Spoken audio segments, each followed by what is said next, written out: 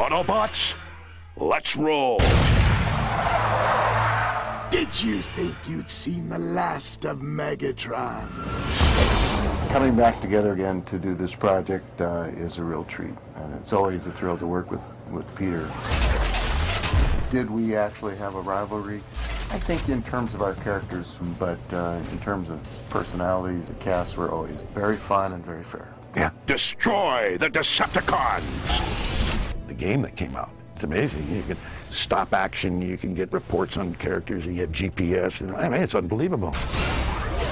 These one-dimensional characters that we were playing back in the old days and are now, you know, just uh-huh. incredible feats of color and technology.